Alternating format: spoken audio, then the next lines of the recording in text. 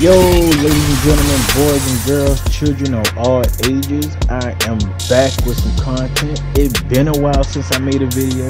As you can see, it looked like I ain't been here since season four, I believe. Season four, I was busy doing some other creative things, trying to get a business started, trying to get my life right. Well, try to make my life better. But this is your boy Hooligan Carnage back with another video, man. As you can see, I'm still doing damage. I've been supposed to release this video, but this was not a priority in my life at the moment.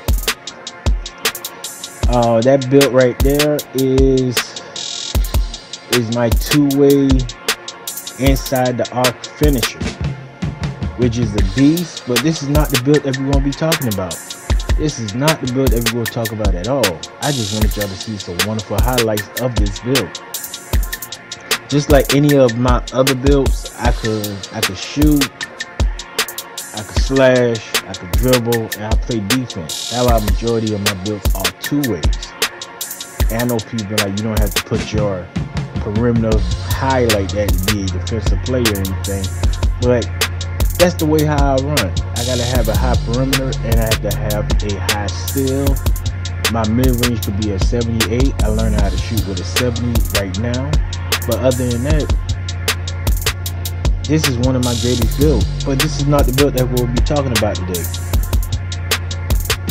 The build the build that going to be talking about today will be a shooting guard build. Majority of my builds are shooting guard. I have a couple power forwards. I have few small forwards. I really don't make centers because to me center is a handicap. I don't make point guard because point guard is too much responsibility. Also, point guard get on my nerves in 2K. Most of the time they dribble most of the clock, and then you have someone that passes to you the last couple seconds. Now the other build that we're looking at is my two-way three-level threat. I made one in season one, but I did not understand the concept of 2K. And what I mean by that, I did not understand the concept of the shooting. I didn't understand the, the basics of the, the, the defense.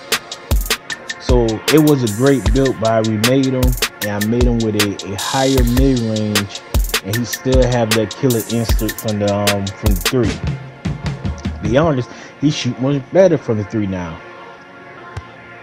But this is not the reason why I gather all of y'all here today.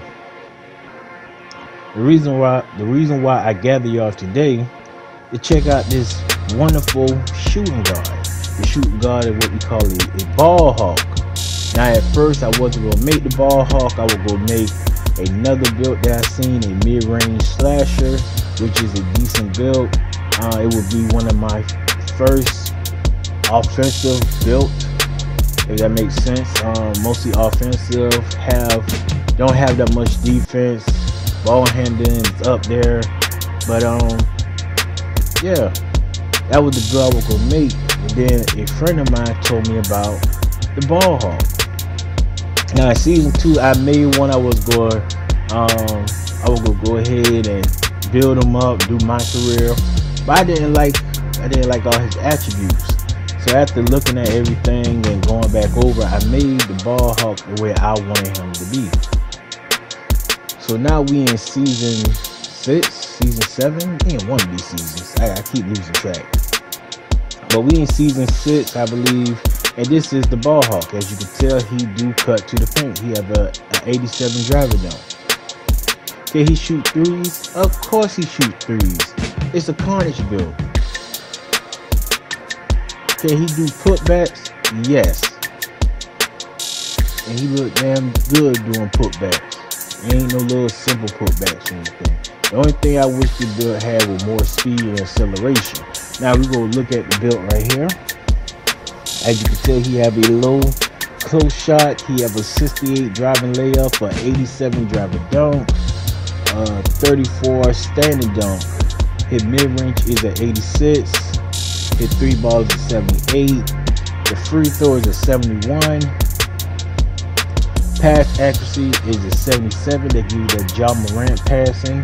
His ball handle is an 80, so he do have a little crossover. He can't break ankles when I need him to. Uh, speed with ball is a 71. His uh, interior defense is low. His perimeter defense is a 83, which is rare for me, but normally most of my builds have a 87 perimeter defense. That will make them two ways. But I made this one with an 83 perimeter defense. It still is a 95, which is one of the highest I put on my builds.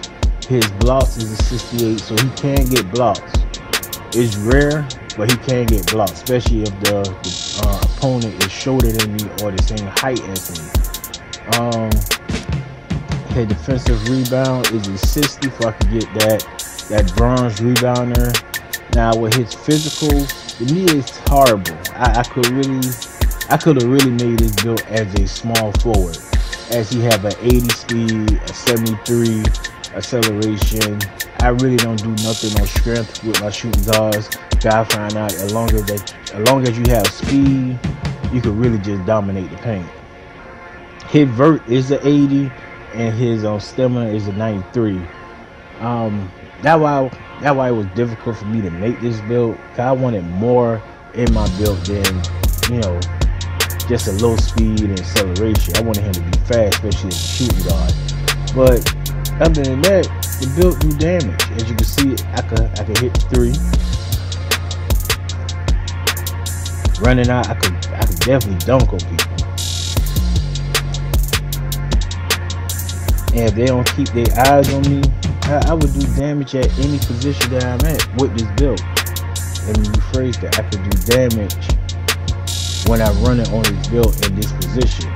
Small forward position, it kind of hard because most small forward forwards now is 6'8", 6'9". Uh, power forwards now 6'9", 6'10", and I done seen a whole bunch of 6'9", 6'10", 6'8", centers. So like when it comes to that, it's kind of hard. But this build do do damage. I can shoot the three with a 78 three ball. I'm learning how to do it with a 70.